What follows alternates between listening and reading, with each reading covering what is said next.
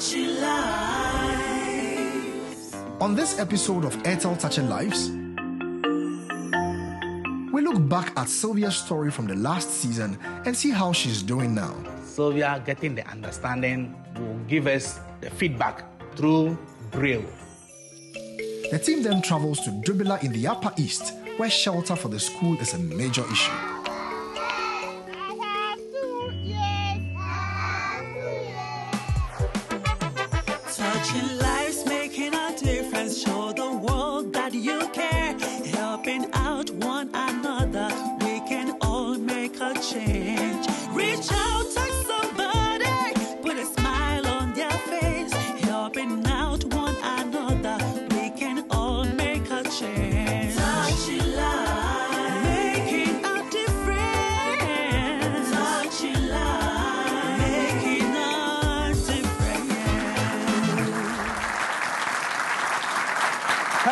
Everyone, and welcome to Airtel Touching Lives. Everyone carries in them the potential to transform life through their own actions and attitude. The simple action you take today would make a world of difference to somebody. I am Sada Mofori, and it's my pleasure to see you through yet another episode of Airtel Touching Lives. Before we get into it, however, here is a preview of Sylvia from our last season and how Airtel Touching Lives has made her life a lot easier.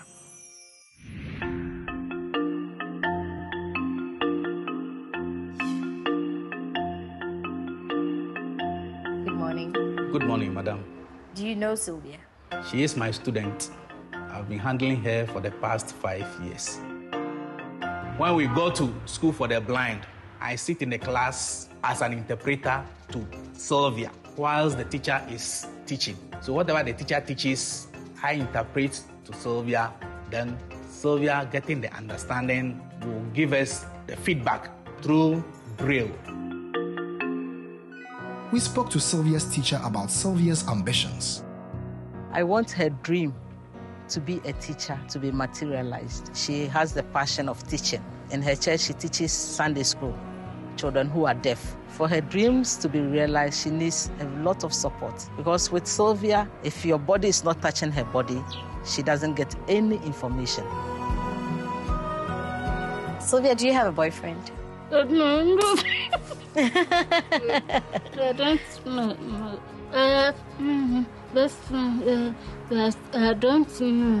The person who will be my husband.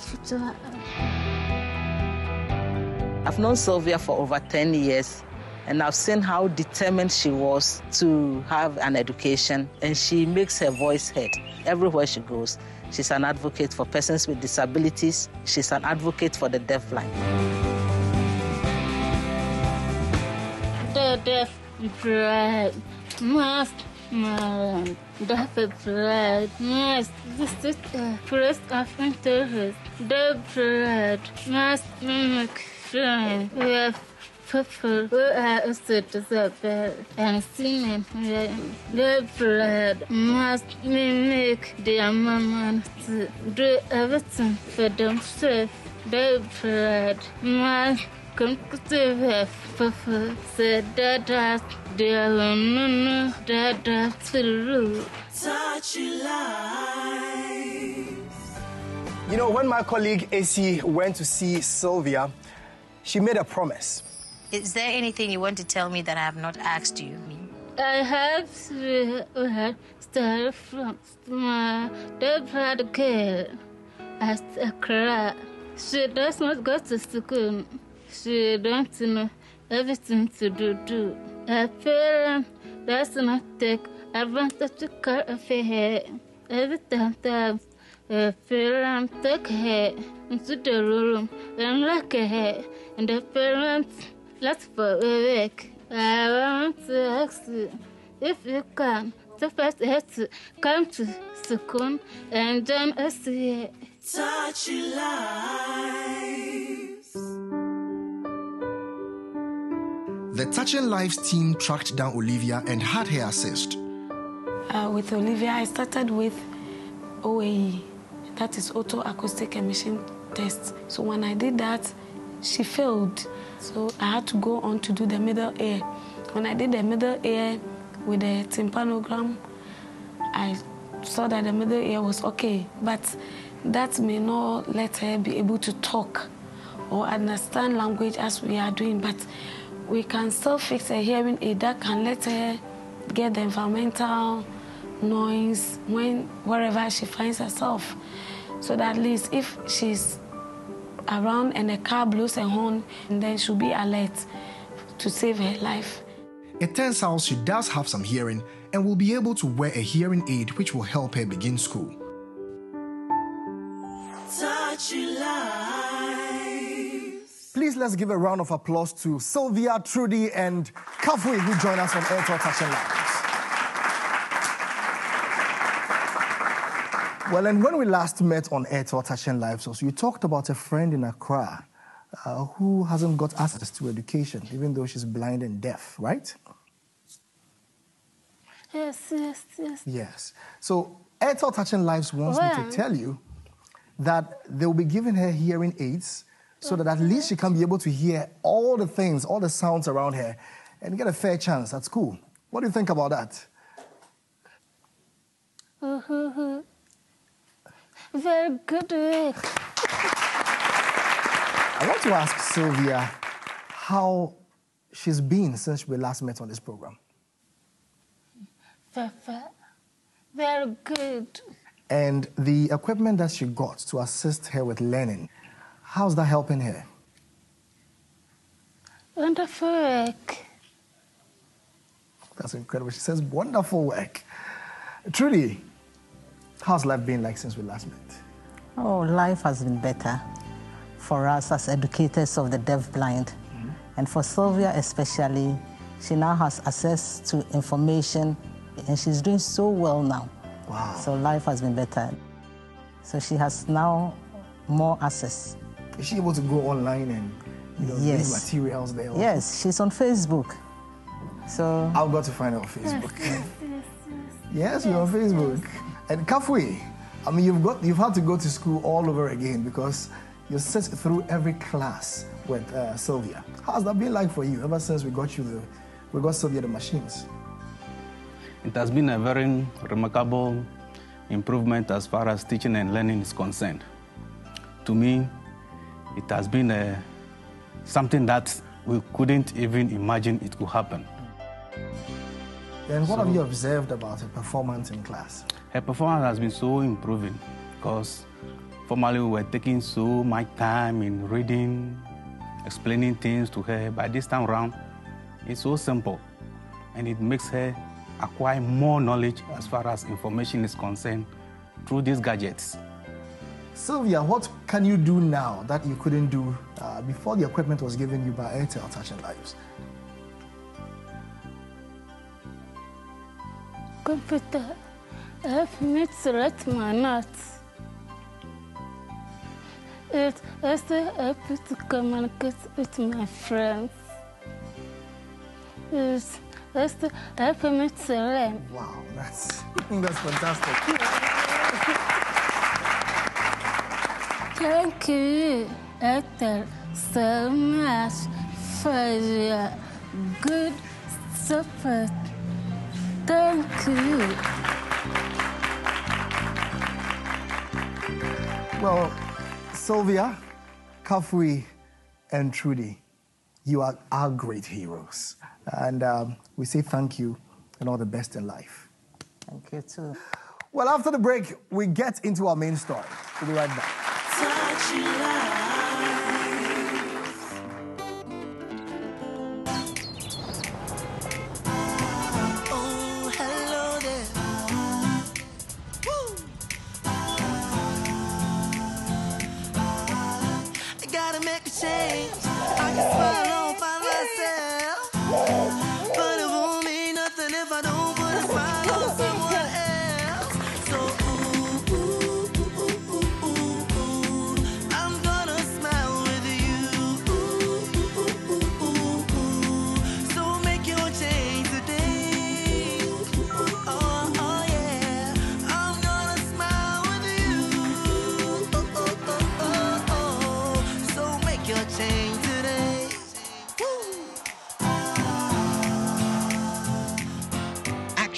Emotions are contagious. Within us is the potential to transform lives through our actions and attitudes. Make your change with Airtel.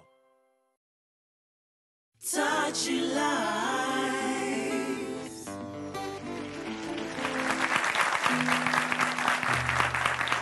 AC is up in Dubela in the Upper East region. Let's see what she has for us.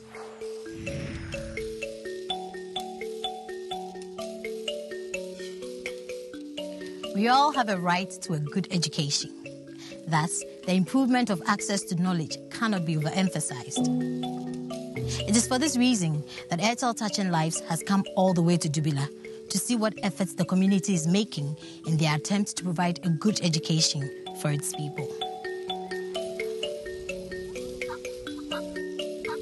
The team travels to Dubela just outside Bolgatanga and meets up with the Honorable Moses Abilba. Greetings, Honorable. Thank you very much. You're most welcome. What do you do in the community? I am the assemblyman of this area. I live in this community. I was born and bred in this community. I am a native of this community. The people of Dubela are mainly farmers. It's hard work and unpredictable. They are at the mercy of the weather. We are mainly farmers, and the land is becoming infertile.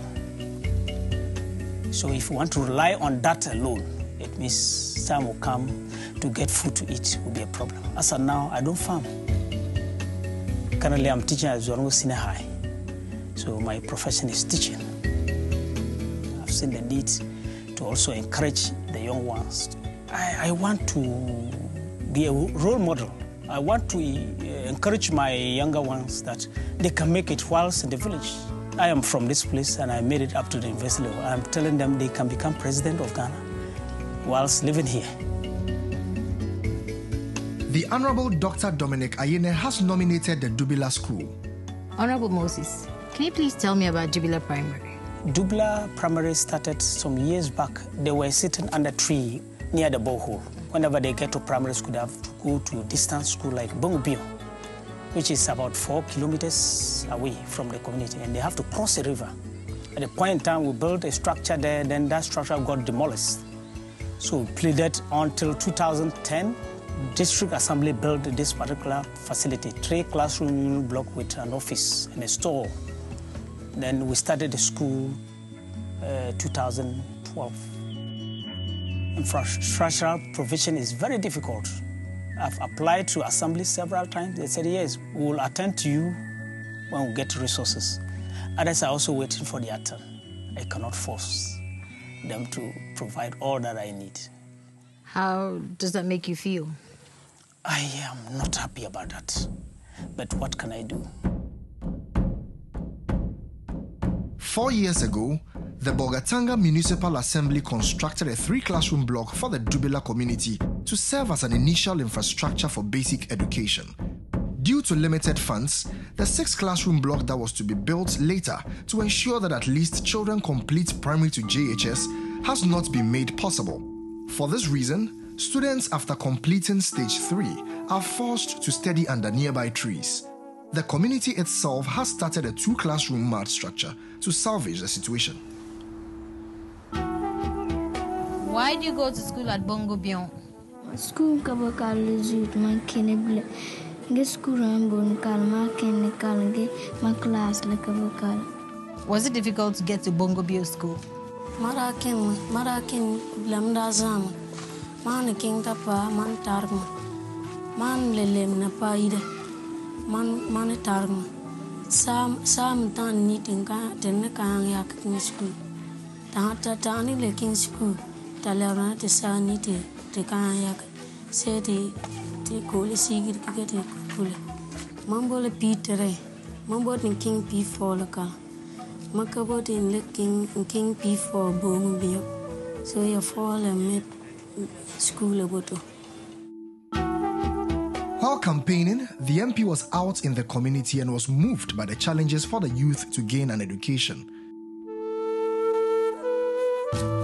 Dubla community lacked a school until the NDC MP for Bolgatanga interceded on behalf of the community, and then the municipal assembly built three classroom blocks for them.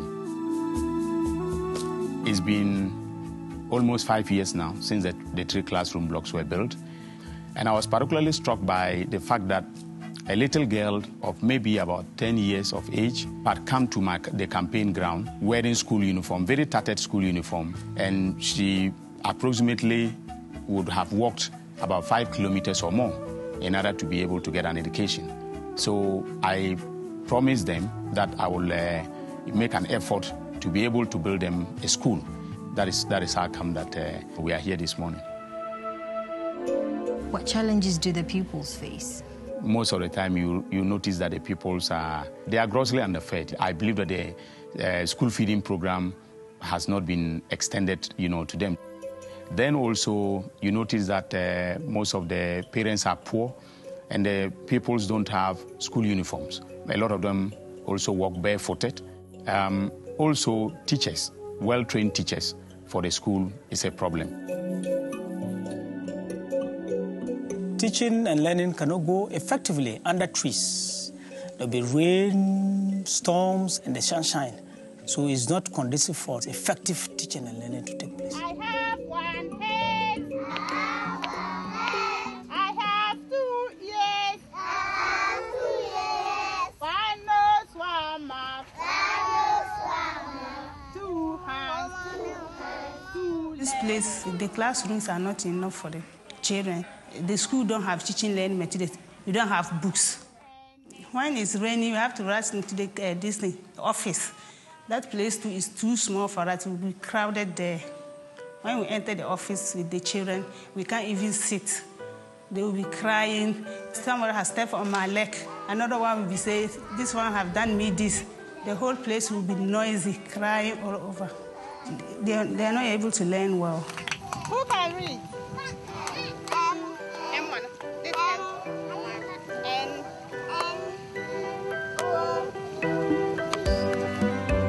The youth in the community are basically doing nothing. Every day they just sit idly, playing games and all things. And that is the only thing they do. There's a lot of unemployment. So if they are educated, they'll be having something meaningful to do. Some, they will be well informed because, because people are not educated. They just take things as they are. They, they don't know their right, they don't know their responsibilities in the community. So we hope that if we could get a school of our own, we will be able to encourage the youth to take, pick up education and the community will improve, improve drastically. The community works together to make the best of their situation.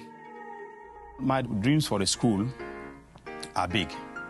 Uh, first of all, I would want them to have uh, enough classrooms to be able to complete the entire program of basic education, which means that they would have, uh, you know, they should have additional six classroom blocks um, so that they can have primary to JSS. And then I would want the school to have its own library and possibly an ICT center because these days, without information technology, you know, your education is, uh, will I call it half-baked. And then uh, maybe in future we could construct a community day school, secondary school for them. So, you know, you can see it's a very big dream, and uh, I think that this is just, you know, a start. If Airtel helps, how will it affect this community? It will impact tremendously on this particular community because providing a structure will be a panacea to most of our problems as far as education is concerned. Providing the structure will mean that our children will have an accommodation to stay in and teaching and learning can go on very well. And in that sense, I will be very, very grateful.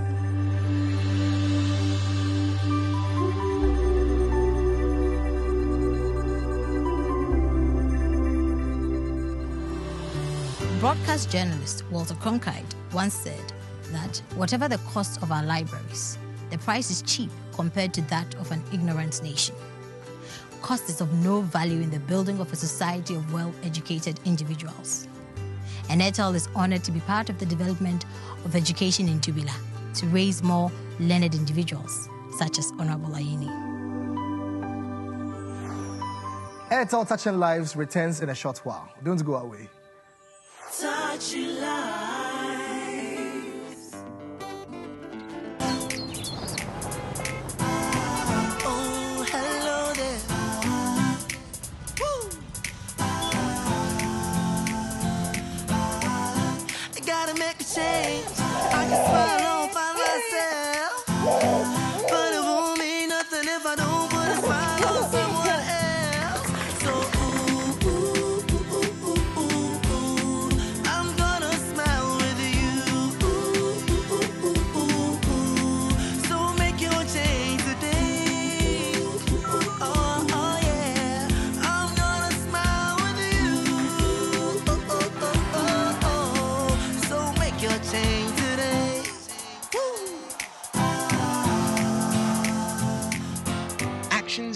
Emotions are contagious. Within us is the potential to transform lives through our actions and attitudes. Make your change with Airtel. Touching lives.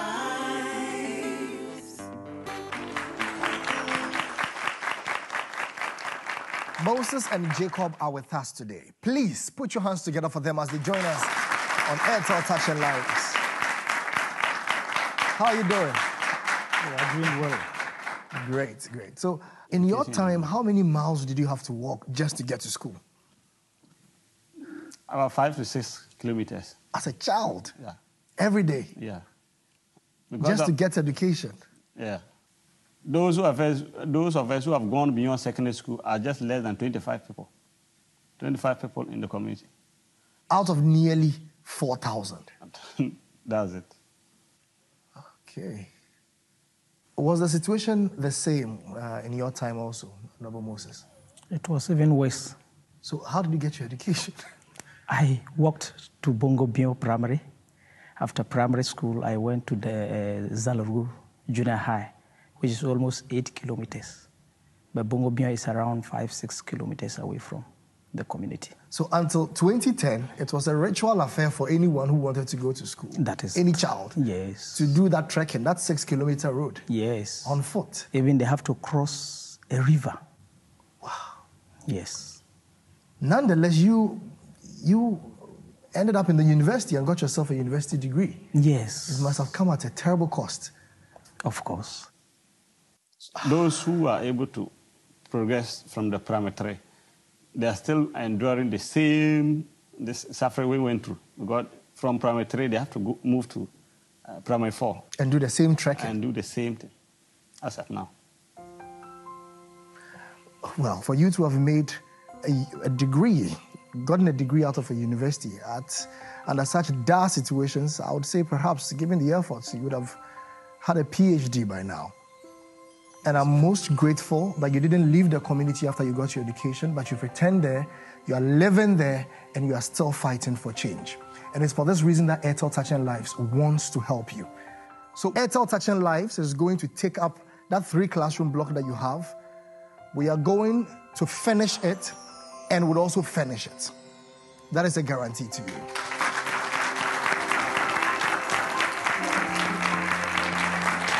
But at long last, we are getting a, a panacea to our problem. If it is not uh, fully completed, but uh, we are getting the panacea to help finish that block for us. And our greatest hope is that these children stop walking all these kilometers just to go and learn their ABCDs, one, two, three, four, fives. At least with this building, Airtel Touching Lives will be assured that the children will have a favorable, a more conducive environment to be able to study.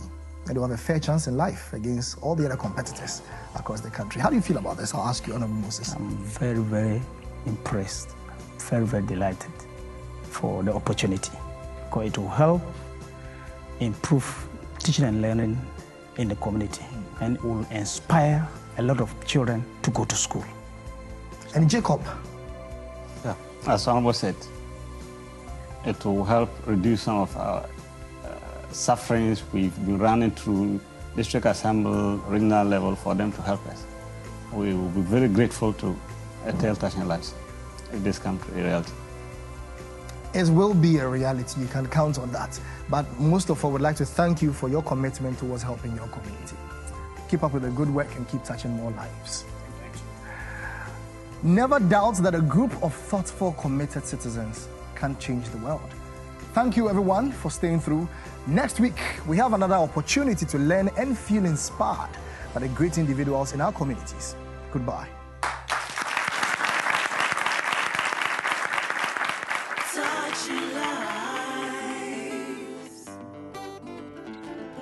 Next week on Airtel Touching Lives, we'll have a story from the very remote village of Kanjaga in the Upper East.